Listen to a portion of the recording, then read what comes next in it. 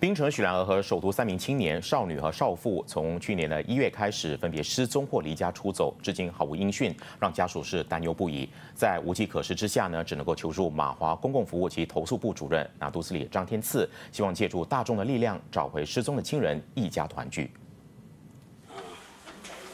来自槟城的事主赖翠瑶女士表示，二十二岁的儿子朱志康今年七月到新加坡工作，并曾向她表示九月十七号会到中国一趟，没想到之后就完全失去联系。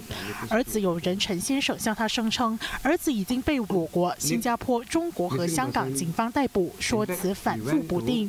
事主为找孩子，跑遍了马新中港的领事馆、移民局和外交部查询，但都没有发现儿子被捕的。相关记录，整起案件疑点重重。在香港，我有去问，因为我有亲戚在中啊广州嘛，我叫他们去问，可是还是没有资料。中国，中国就不知道，因为中国太大太大了。嗯，还是找这边的中国。新加坡我也去联络了，也是一样没有。第二宗案件的失踪者是一名十七岁少女肖凯琳。事主黄宝峰表示，女儿在去年八月三十一号早上和一名二十九岁男性友人阿洪外出后就失踪了。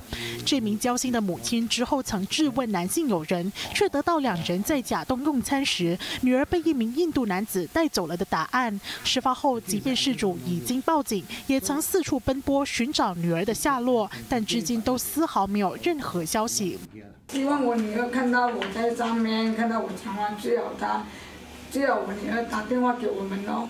而在首都郊赖，一名三十四岁少妇梁文凤，去年一月突然离家出走，留下丈夫和两名八岁及十岁的孩子。而她在临走前，仅曾通知父亲会在水州浦种一带找工作。两年来，家人一直盼着失踪者和家里联系，但事与愿违。两名嗷嗷待哺的孩子，至今都等不到妈妈回家。要回来呀！你两个孩子要找你。他多久不见了？因为他两年多没有见你了咯，他很想见你，一直想要你回来。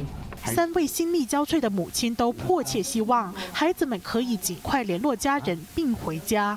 马华公共服务及投诉部主任拿督斯里张天赐也呼吁知情民众拨打荧幕上的电话号码，提供线索，协助三名事主一家团圆。